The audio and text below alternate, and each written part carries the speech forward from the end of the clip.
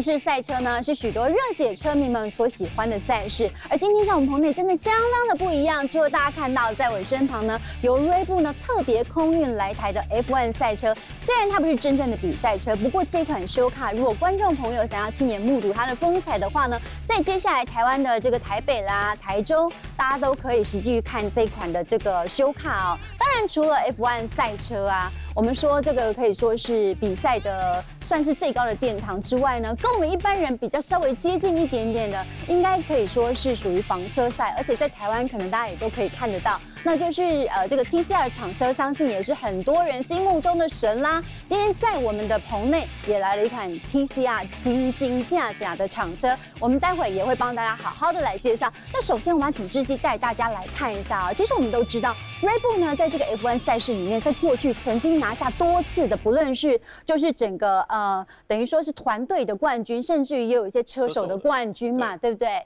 可是呢，虽然说近期这几年来说呢，是由宾士所拿下冠。可是体质相当优良的，就锐步来说，他也是在整个就是我们在颁奖台上面的常客。他为什么有这么优秀的表现啊？其实呃，应该说从千禧年世代开始，大概是那个时期，基本上大家有在看电视的话，都是法拉利在统治整个 F1 的赛事。对。但是呢，近十年来的前半段，大家应该都还记得，都是 Red Bull 所拿下，没错，一连串的一个冠军，然后到到直至到现在才是换成宾士 AMG 车队。在统治这个时代哦，那其实呢，呃，我觉得 r e b o 有很多可以值得跟大家讲的事情哦，特别是 r e b o Racing 呢，他们投入在非常多的，例如说极限运动的赛事，或者是很多的赛车，包含到以这个 FIA 汽联来说最高殿堂的 F1 赛车，都是他们呃重点发展的一个项目。那其实呢 r e b o 跟其他的这些车队有什么不同？其实冠英，你看有 AMG。有法拉利，嗯，有呃，比如说雷诺，其实基本上他们都是车厂背景，应该不是说车厂背景，其实它就是汽车品牌了。对。但是 Red Bull，呃，我认为他们非常厉害的就是，其实它只是一个奥地利的能量运动饮料而已。但是呢，他们在运动的赛事，特别在赛车门槛这么高的运动之中，可以有这样的表现，我觉得是非常非常厉害的。那当然，今天我们来到现场呢，这是一台货真价实的 F1，虽然它是呃没有装引擎的一个 show car，但是呢，我觉得。我们要把它全部讲完哦，可能天都要黑了。所以今天我们就稍微深入浅出带大家看一下。其实呃，我先跟大家说，这一台呢是目现在是二零年嘛，这一台其实是一九年式的涂装 RB 十五。那看到三十三号，其实它就是目前的当家车手 Max Verstappen 的的座驾。但是呢，它的这个车体啊本身，它是因为涂呃宣传涂装的关系，所以是 RB 十五。其实它的本体是 RB 十四，就是一八年的。所以呢，大家现在看到它有很多，例如呃，贝耐利啦、Mobile One，还有 Honda，其实它应该是装雷诺的引擎。但是其实雷诺的引擎其实也很不错，毕竟呢，也帮助像这一台的车主 Max，他也拿下了最年轻的分站冠军车手。所以，但是呢，到了这个呃，大概一九二零年的时候，他们开始发现，其实 r e b o l 我们讲到它有最棒的空气力学。还有最棒的底盘的调校，对，但是就是在动力的部分，感觉就是跟法拉利还有宾士有一点点的差距，所以呢，目前才是更换上了本田的引擎。嗯，好，我们先来看车，讲到这个空气力学哦，你会发现它在目前新的 F1 的规定呢，前面的这个我们所谓的前面的鼻翼以及下方的扰流已经可以变得非常非常的宽大，嗯，但是呢，前方的你有没有看到，其实它扰流片非常的多，对它，而且还是有层次的，对。这是为什么呢？因为我们感觉尾翼好像一般的车子，你看那个 Golf TCR 都特别大，还比它大的。F1 前面为什么也要做这么大？其实，在这个车头部分呢，F1 拥有非常高的一个车速嘛，动辄都是两百五、三百以上，所以它的车头的撞风压力相当相当的高。那在这个部分呢，车头可以做这样的设计，车头可以提升大概百分之二十几的一个下压力。加上尾翼百分之二十，剩下大概五十都是由底盘的一个负压，嗯，来造成的。但是呢，你会看到在最中间的地方，其实 F1 有规定哦，它靠近中线的地方是不可以做这种扰流造型，所以你会发现中间是有点空的。对，这个是呃，就是符合就是大家说的这个鼻翼的部分，是吧？对对对对对对。那你会发现很多车辆在可能维修区维修的时候，它的车头鼻翼这个地方其实是可以卸下来的，嗯，方便它技师做一些操作。那这么讲究空气力学的一个赛车呢，其实我们稍微往后一点到轮胎的部分，你就会看到它的包含连杆啦、悬吊啦，以及转向的这些控制的轴类全部都是用碳纤维。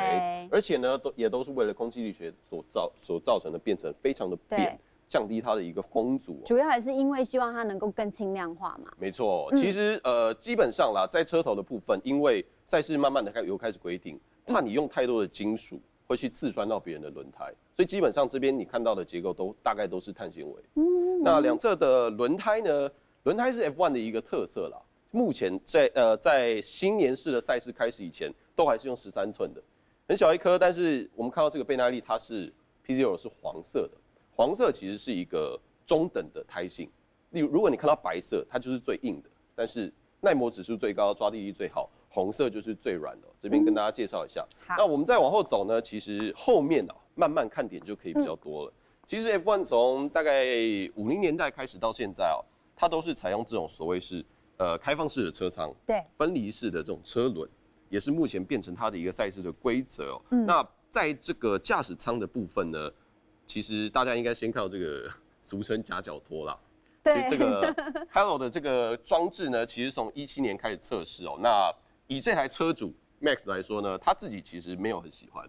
为什么？就是很多车手觉得呃 F1 的安全性其实表现已经很好了。对，那例如像 Hamilton，他就觉得你装上去就不叫 F1 了，F1 就是要开放式的一个车舱。哦，但是其实你看到它包含以这个为车手量身打造的这个坐姿，对以及它到差不多前轮的前面哦，这整个都是单体式的碳纤维舱。这个东西感觉哦好像开放式，但是其实我们知道，呃，大概前年的时候，阿隆索用时速大概三百公里飞出去，整台车全部都全毁了，但是就留下一个很像浴缸的一个单体座舱，然后下车三百公里撞下去，然后下车还是可以走路。对，这表示说，像一般我们不是有讲到，之前节目有介绍说，像跑车，现在有很多跑车，它也是做这样子，就是很像浴缸里面这个东西，其实你撞了，可是对对于驾驶座来讲，它的保护是非常非常足够。对对对对对，没有错。嗯嗯嗯好，我们再来看一下，其实 F1 最主要，因为我们知道它的引擎就在这里，对，这是它的引擎，那它采用的是一千六百1.6 cc V 六的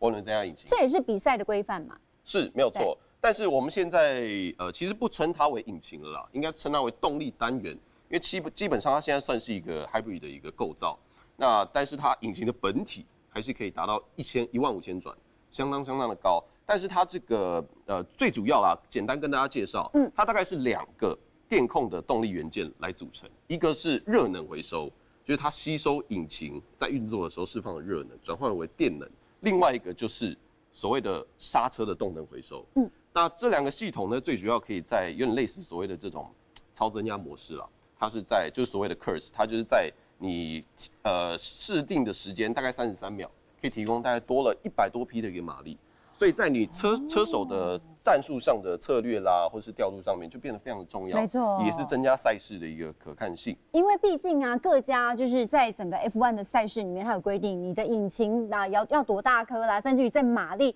动力的那个限制上面都是差不多的规范。没错，那至于说整个动力的动呃空气动力学的考量啊，就是各家车厂的本事了。对，其实关于刚刚讲的就是重点，为什么嗯叫方程式？其实它就是在条条的规范限制里面的，大家去比谁能够创造出最好的成绩没出来，。没错，没错。好，嗯最后我们嗯简单看一下后面哦，其实后面大家应该比较少看到，但是还是看一下后面轮胎比前面还要大好，宽非常的多，对对非常标准的一个前后配哦。但是来到车尾的时候，最大的重点就是后方的这个导流器嗯。diffuser，、那它的功用哦，其实我刚刚前面讲过了，如果你的车头有了鼻翼可以下压，车尾有了尾翼提供的安定性之后呢，对，在后方的底盘哦，它利用它的导流的方式，有点类似把空气抽走。冠仪，你有没有开过那种 真空的那种火腿还是什么的？没有。怎么可能没有？密密封的保鲜盒。哦哦哦，是不是很难开？嗯嗯，因为它里面基本上处于一个负压或是真空的状对态。真空的状态，但是当底盘在车辆在高速运行的时候，它没有空气吸得到，因为离地太低了，然后风速又太快，嗯所以它就会将车体还有柏油路面紧紧的吸附在一起。嗯所以为什么底盘在 F1 上面可以达到百分之五十的下压力提供？嗯它就是以这样的模式来运作。所以呃，简单来说，F1 赛车其实不管是不是我们看到的 Rebel Racing 的 RB 十四、RB 十五，它有非常非常多的一个技术的结构在里面啊。那换成 Honda 的引擎之后哦，我相信在接下来，不管是其实一九年已经过完了嘛，嗯，那 Rebel Racing 虽然还是以季军季收，但是我觉得它的整体的表现已经算是有让人越来越关注到。那我相信在二零二零年的赛季呢，大家可以更期待 Rebel 的一个表现。